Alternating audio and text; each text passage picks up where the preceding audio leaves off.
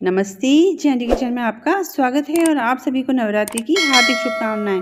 और इसके उपलक्ष्य में मैं आपके लिए लाई हूँ व्रत में खाए जाने वाले आलू के हलवे की रेसिपी इस हलवे को आप बनाएँगे तो आप इसके फ़ैन हो जाएँगी और आप इसको हमेशा नॉर्मल दिनों में भी बना के खाना पसंद करेंगे। ये हलवा भी बहुत ही टेस्टी होता है और एकदम मुँह में रखते ही मुँह में घुल जाता है। और इसको आप कभी भी बना सकते हैं क्योंकि आलू तो हर किचन में हमेशा ही अवेलेबल होते हैं। तो चलिए बनाना शुरू करते हैं आलू का हलवा। तो सबसे पहले हमने एक आलू ले लिया है। जिसको हमने बॉईल कर लिया है।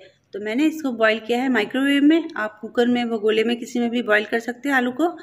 और मैंने ये बड़ी साइज़ का आलू लिया आप छोटी छोटी साइज़ के आलू भी ले सकते हैं। तो इस बात का ध्यान रखना है कि आलू को हमें बहुत अच्छे से बॉईल करना है। आलू अंदर तक बॉईल होना चाहिए क्योंकि हमको इसका हलवा बनाना है।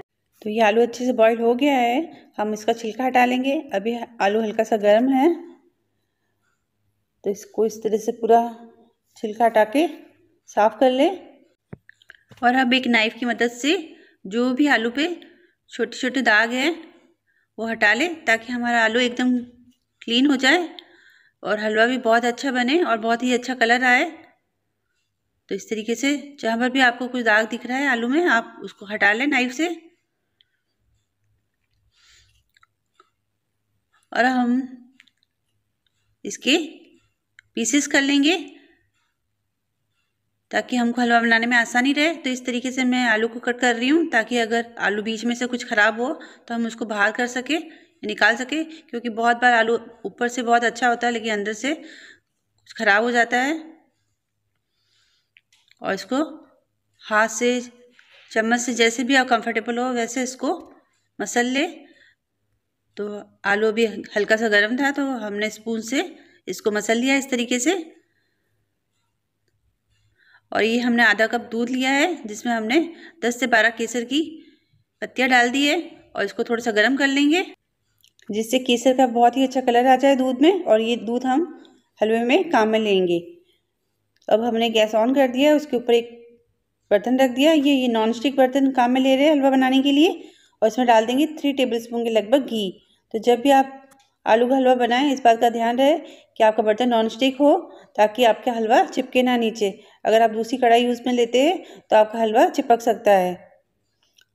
तो घी गर्म हो गया हमारा। अब हम इसमें जो मैश किए आलू थे वो डाल देंगे और इसको अच्छे से धीमी धीमी आँच पे भुनेंगे ताकि घी अच्छे से सब में मिक्स हो जाए।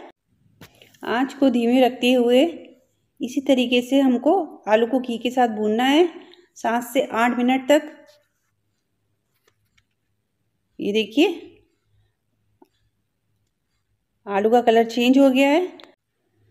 घी के साथ में आलू को बहुत अच्छे से हमने भून लिया है। और इस स्टेज पे हम इसमें डाल देंगे केसर वाला दूध, जिसको हमने हल्का सा गर्म कर लिया था, ताकि केसर का अच्छे से फ्लेवर आ सके इसमें और कलर आ सके। और इसको आँच को धीमे रखते हुए वापस अच्छे से चलाना है, ताकि नीचे लगे ना।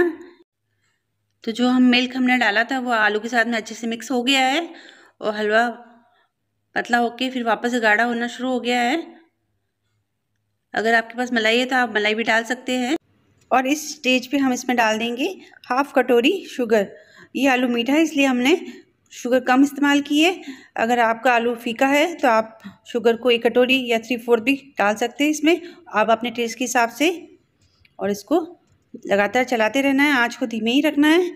नॉन स्टिक कढ़ाई में भी आलू का हलवा बनाते समय बहुत ध्यान रखना पड़ता है कि वो लगे ना नीचे।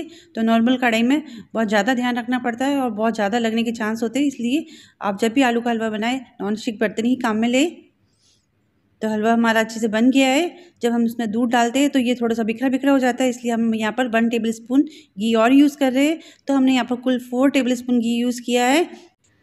आलू का बहुत ही टेस्टी हलवा बन के तैयार है और अब हम इसमें डाल देंगे हाफ़ टी स्पून के लगभग इलायची पाउडर और थोड़े से ड्राई फ्रूट जिसमें हमने थोड़ी सी पिस्ता की कतरन डाली है, थोड़ी सी काजू डाले और थोड़ी सी बारीक कटी हुई बादाम।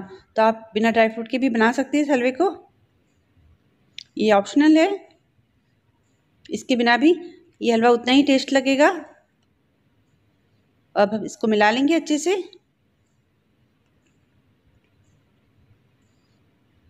और एक प्लेट में ले लेंगे। और थोड़ी सी बची हुई ड्राई फ्रूट भी ऊपर से डाल देंगे गार्निश के लिए। तो थोड़ा सा बचा हुआ हमने पिस्ता डाल दिया, थोड़ी सी बादाम डाल दी ऊपर से और थोड़ी सी हमने ड्राई गुलाब की पंखुड़ियाँ डाल दी है। जिससे हमारा जो आलू के हलवे का कलर है, वो बहुत ही इन्हेंस हो और बहुत ही अच्छा लगे। ये देखिए। तो बहुत ही टेस्टी हलवा बनके तैयार है हमारा आलू का। तो आप भी इसको एक बार ज़रूर बना के देखिए, आपको बहुत पसंद आएगा और आप इसको बार बार बना के खाना पसंद करेंगे, क्योंकि बहुत ही जल्दी से बन जाता है और बहुत ही टेस्टी बनता है। तो आपको चैंडी किचन की आलू के हलवे की रेसिपी कैसी लगी? अगर अच्छी लगी तो लाइक करें चैनल को सब्सक्राइब करें और वीडियो देखने